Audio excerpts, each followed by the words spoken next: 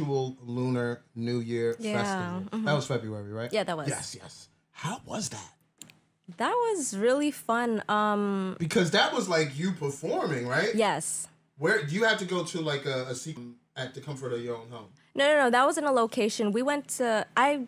We could have recorded it anywhere. I could have done it in the comfort of my own home, but I wanted to do like a, a Like a real visual. yeah. Okay, like, okay, I- okay. Everything that I do, I really um, I want it to be presented in a way that um, represents me. Yeah, yeah. So we went to a studio in Brooklyn. Um, we recorded it live. Um, oh, that's dope. yeah, I had a band, like a small band, and then um, just a great cinematographer. Hakeem was there supporting, of course. My son. Shout out to Hakeem, Mr. I don't want to be on camera. I'm only here for support. Yes, I got him. Yes, I got him. Yes, I got. He's not. He's not coming on camera. But no, I'm sorry. I didn't mean to cut you off. I'm sorry.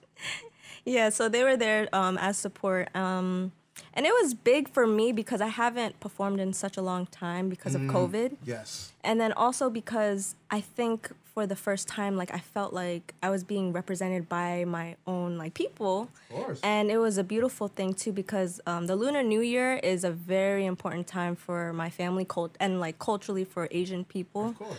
Um, so it just for me it felt like um, an opening for good luck, good fortune to be you know an abundance for my life, and then that's what ended up happening too. So I'm really happy that I got to be featured on. It was it's called the Joy Ruckus Lunar New Year Festival. Okay, is that an annual thing or is that like um? You know, actually, it is annual and it's actually global. It's yeah, so it's like um, they have artists from everywhere. They had really large Asian artists like from Korea, from Vietnam, all these and you countries. got to yes.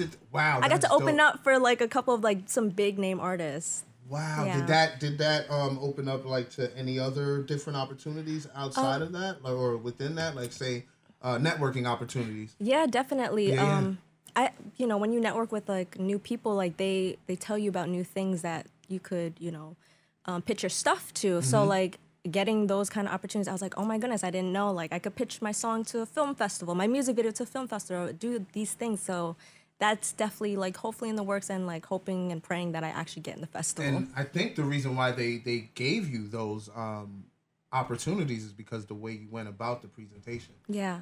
They were like, okay, you see what she did? She could have did it right at home, but Yeah. she actually went and got a studio, made sure that the presentation was right. So let's tell her about this because she's not playing. Yeah. You know what I mean? So that's that's dope. I'm glad that you did that. Yeah. And That's that's amazing. Okay.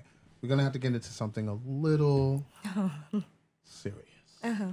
You know, um, there's been a lot of ignorance uh, ever since COVID begun, Mm. and it was no thanks to number 45. Yeah. I don't like mentioning his name. I don't even say he was the president, but you know, I'll acknowledge he was number 45 Yeah.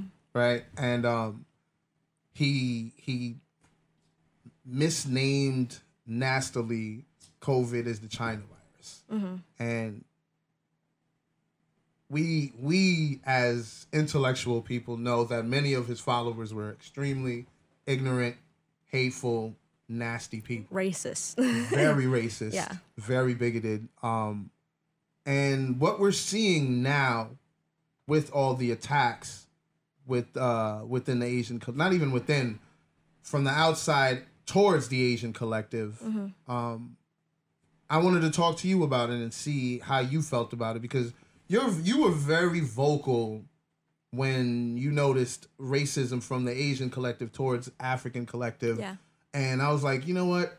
I have to talk to you about it because you like to hold people accountable whenever they're being inhumane, no Right. matter who they are. yeah. You know, so to see this and to hear the pride of your Asian culture coming from you, I wanted to ask you about, you know, this whole um, stop the Asian hate thing, white supremacy, and I just wanted to know how do you feel during this time? Because I know you're very empathetic. We we spoke about empathy the first time around. So how are you feeling through this whole this whole thing?